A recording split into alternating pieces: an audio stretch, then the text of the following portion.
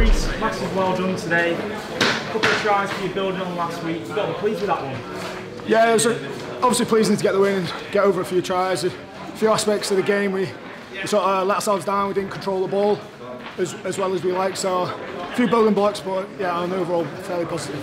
The, the second one came at an important time, didn't it? Because at that point, Leigh was starting to get a momentum, weren't they? They were so, certainly. I think they had a lot of momentum in that in that second half, and it was through our own fault. I think uh, certainly with, uh, with the win, we, we probably didn't execute with, with it as, as we'd liked and put pressure on ourselves. So uh, yeah, it was a good timing of the try, but um, it's probably from our own fault. What have you made of your first few months with the club, and how much confidence do you see in the side at the moment? Yeah, obviously building from last year and made a grand final, which is, is massively positive.